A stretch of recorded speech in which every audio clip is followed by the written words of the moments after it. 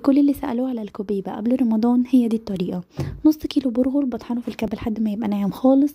عليهم ربع كيلو لحمة مفرومة ومية جرام بطاطس.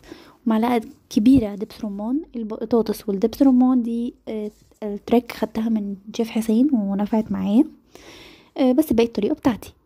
بعد كده هنحط ملح وفلفل أسود سبع بهارات جوز الطيب توم وبصل powder بابريكا وجنزبيل وكزبرة ناشفة. طبعا هنعجنها كويس الموضوع ده لازم ياخد عجنة مش أقل من ربع ساعة يا جماعة.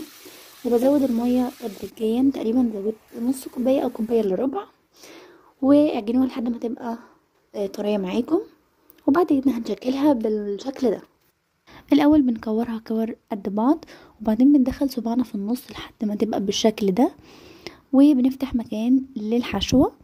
ممكن تكون بتشقق شوية لو لقيتوها كده ابقوا بلوا ايديكم مية خفيف خالص وبعدين قفلوا بيها.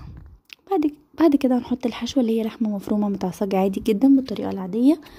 آه وأنا ما حطيتش فيها مكسرات يعني لحمة مفرومة بس. وبعدين بنقفلها بالشكل اللي أنتوا شايفينه ده. لو فتح حاجة بتقفل معاكوا عادي جدا وما بتفكش في الزيت خالص.